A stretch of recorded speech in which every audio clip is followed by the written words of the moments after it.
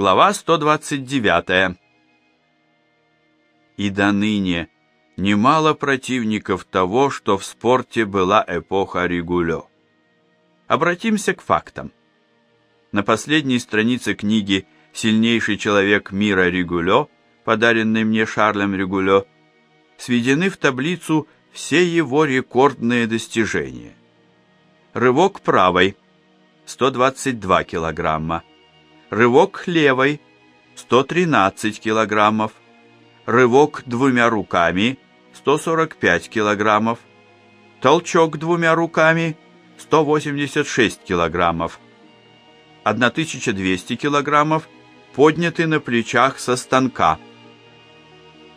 Кроме того, он единственный атлет, который постоянно толкал ось Аполлона 166 килограммов и ее же, но нагруженную до 172 килограммов. Результат в толчке двумя руками по нынешней системе прошлом французской. Основной показатель силы был превзойден Норбертом Шемански лишь в 1954 году. Итак, этот рекорд абсолютной силы принадлежит Регулё без малого четверть века, а с ним и титул «Самый сильный человек в мире». Никто четверть века, а это время историческая наука определяет как жизнь одного поколения, не был в состоянии осилить толчок двумя руками Шарля Ригулё. На жизнь целого поколения. Рекорд. Теперь обратимся к мнениям современников. Французы могли быть пристрастными. Но что писали наши газеты и журналы? Год 1928 отрывок из статьи «Тренировка лучшего французского тяжелоатлета Ригулё», опубликованной журналом «Физкультура и спорт». Повысил ли Ригулё свои рекорды в результате систематически проводимой им вышеописанной тренировки? Да, толкнул двумя руками 176,5 килограммов.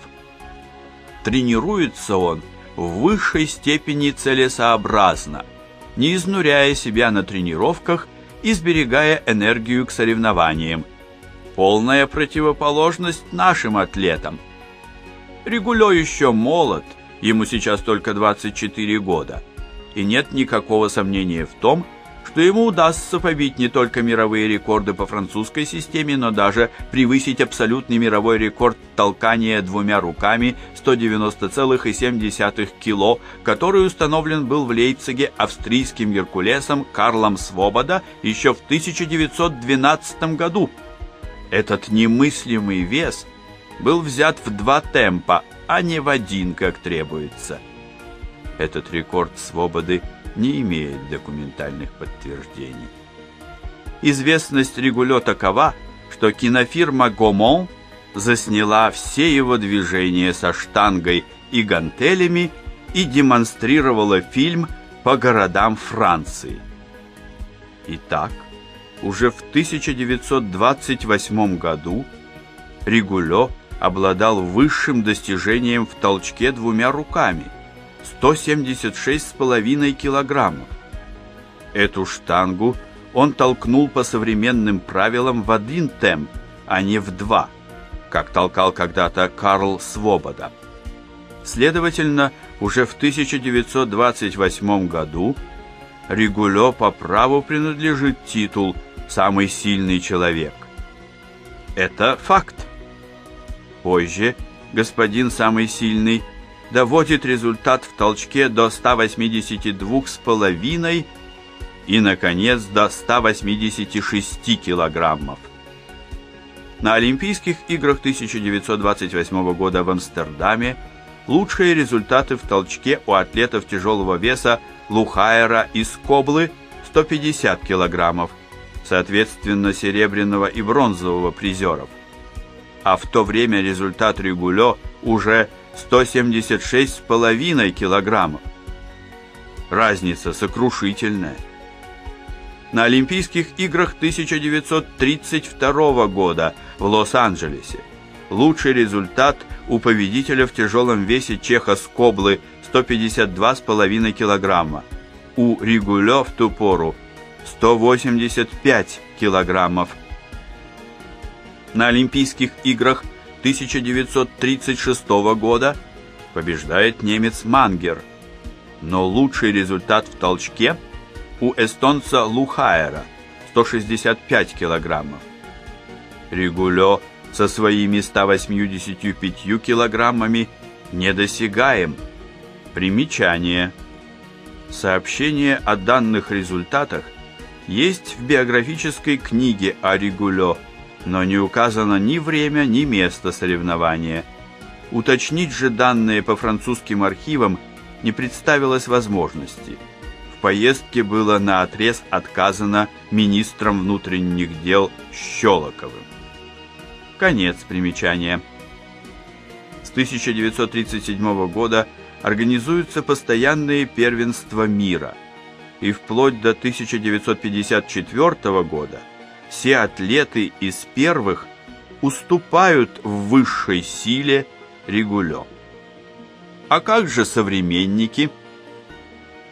Вот статья Жирмунского «Шарль Регулё», напечатанная нашим журналом «Физкультура и спорт» в 1938 году.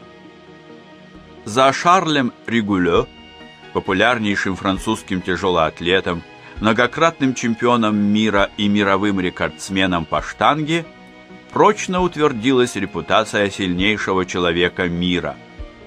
Этой репутацией Шарль Регулё, или попросту Шарле, как его принято называть во французских спортивных кругах, обязан своему подавляющему преимуществу над всеми мировыми гиревиками на протяжении длительного периода лет, начиная с 1924 года, когда он завоевал абсолютное первенство по штанге на Парижских Олимпийских играх, вплоть до 1933 года, когда он выбыл из строя из-за тяжелой инфекционной болезни.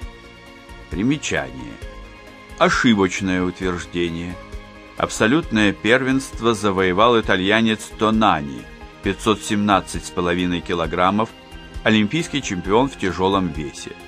Второй результат был атлета тяжелого веса серебряного призера австрийца Айгнера, 515 килограммов, и лишь третий у атлета среднего веса Ригулё, 502,5 килограмма. Соревнования проходили по принципу пятиборья, включавшего рывок и толчок двумя руками, рывок и толчок одной рукой. Полутяжелой весовой категории не существовало. Конец примечания. В чем секрет выдающихся спортивных успехов Ригулё, создавших ему мировую славу? Одним из основных преимуществ популярного французского атлета-профессионала являются его колоссальные физические данные. По сведениям французского спортивного журнала, измерения Регулё в возрасте 32 лет сводились к следующему. Рост 1 метр 74 сантиметра. Вес 103 килограмма. Объем груди 1 метр 32 сантиметра. Талия 97 сантиметров. Шея 47 сантиметров. Предплечье 39 сантиметров. Бицепс 47 сантиметров. Бедро 70 сантиметров. Икра 47 сантиметров. Спирометрия 7 при столь мощных формах мускулатура мирового рекордсмена, в отличие от многих профессионалов-атлетов, не гипертрофирована. По сведениям французской прессы, большой физической силой отличались отец и дед Шарля по профессии мясники. Сам Ригулё еще в детстве прослыл выдающимся силачом не только среди сверстников, но и среди значительно более старших по возрасту ребят. в не меньшей, если не большей степени, чем своей силе, обязан Регулё своими спортивными успехами неизменно прекрасному состоянию здоровья. По данным осматривавшего его в 1936 году французского врача, специалиста по вопросам физической культуры Пьера Шевелье, у Регулё не обнаружено никаких признаков расширения сердца, склероза и тому подобных болезней. Пульс у него прекрасный, ровный, 60 ударов в минуту в покое и до 200 ударов в минуту после больших физических усилий. Причем он чрезвычайно быстро восстанавливается. Легкие, печень, селезенка регулё в прекрасном состоянии. Кожа также вполне нормальна. Нервная система безукоризненна. Атлет обладает хорошим, непреувеличенным рефлексом, спокойным крепким сном, ровным характером. Сохранил все зубы. Выдающаяся физическая сила и безукоризненно здоровый организм Регулё явились фактором не только его спортивных достижений, но и большой сопротивляемости организма, что ярко проявилось, когда он в возрасте 29 лет впервые в своей жизни тяжело заболел менингитом, сопровождавшимся тифом. Могучий организм атлета позволил ему не только перенести болезнь, имеющую обычно у взрослых смертельный исход, но и успешно ликвидировать почти неизбежные тяжелые последствия менингита, мозговые явления и тому подобное. В результате через год после начала болезни Регулё был уже совершенно здоров и мог вернуться к спорту. Сам Регулё любит цитировать парадокс, сказанный ему после осмотра известным французским врачом. Ваш организм так безукоризненно нормален, что это почти ненормально. Регулё ведет нормальный, здоровый образ жизни, хотя и не следует какому-либо специальному режиму. Питается он обычно умеренно, не перегружая свой организм большим количеством тяжелой пищи. Только в период большой затраты физических сил атлет переходит на более обильное питание со значительным удельным весом мясной пищи. В области специального спортивного режима Регулё всегда следует мудрому правилу – никогда не перетренировываться. Регулярно работает он только с гирями и более или менее регулярно занимается ходьбой, бегом, прыжками. Уже после своего перехода в ряды профессионалов, работая как тяжелоатлет в цирке, Регулё продолжал регулярно упражняться по одному часу в день с гирями и штангой, поднимая в общей сложности около 1235 килограммов. В период же предшествовавший наиболее ответственным своим выступлениям, Регулё усиливал нагрузку, доводя общий вес поднимаемой тяжести до 3000 килограммов. Учитывая свойственные Регулё быстроту и спортивную злость, Понятны такие его феноменальные достижения, как рывок правой 116 килограммов, рывок двумя 140 килограммов, толчок двумя 182,5 килограмма. В последние годы Регулё заинтересовался вольноамериканской борьбой, и после первых своих весьма быстрых успехов в этом виде спорта – перешел в ряды профессиональных борцов. Но его основное спортивное призвание – работа со штангой, в которой он, думается, еще далеко не сказал своего последнего слова. Таким образом, в глазах современников Регулё – атлет легендарной силы. Ими, а не нами, ему безоговорочно отдан титул – самый сильный человек в мире. Регулё выступал в пору, когда отсутствовали правильно чередующиеся чемпионаты мира. лишь неукоснительно следовали раз в четыре года олимпийские турниры и отчасти первенство Европы. Уход в профессионалы представлялся единственно разумным. Другого способа добывать средства и заниматься любимым спортом не существовало.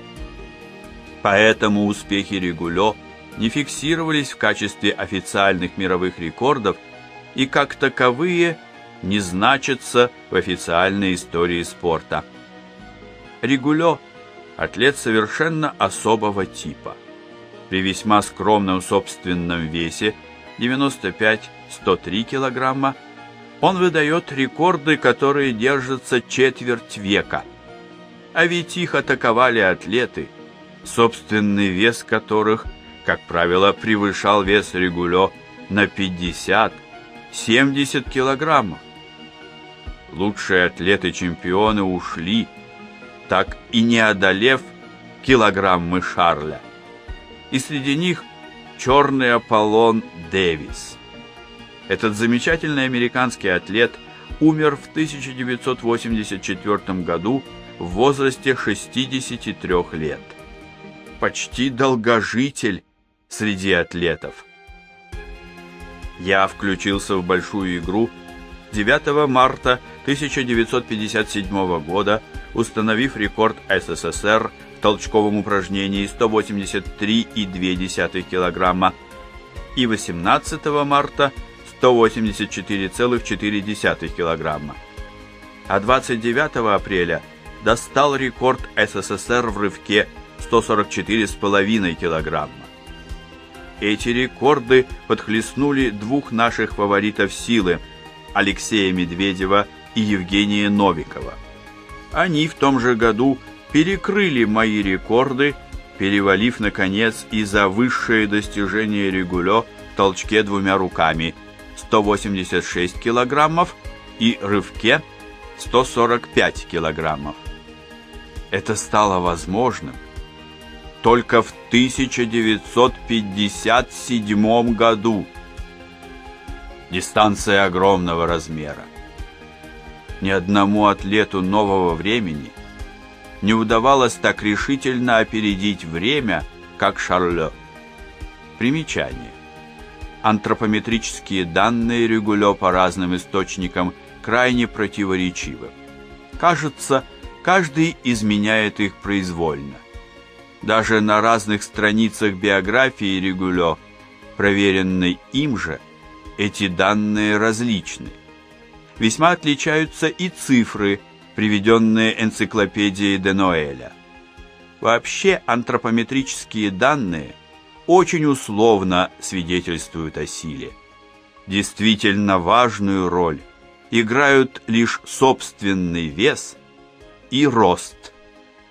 Конец примечания. Факты утверждают. История тяжелой атлетики, история высшей силы знали славную эпоху Ригулё. Это десятилетия поединков, турниров, чемпионатов, встреч, соревнований, в которых властвовала сила Ригулё.